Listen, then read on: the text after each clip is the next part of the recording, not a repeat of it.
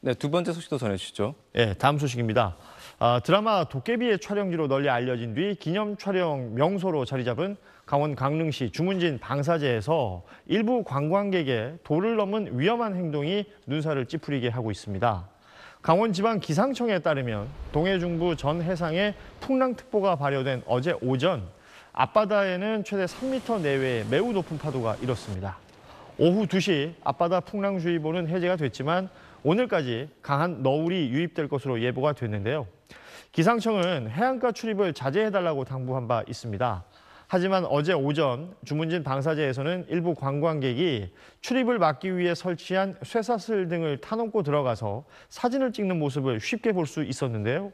방사제까지 파도가 넘어오는데도 사진을 찍는 다소 위험한 장면들도 포착이 됐습니다. 너울성 파도는 당장은 높은 파도가 치지 않아서 위험해 보이지 않을 수 있지만 안심하다가 갑자기 파도가 높아지면 치명적인 사고로 연결되기 십상입니다.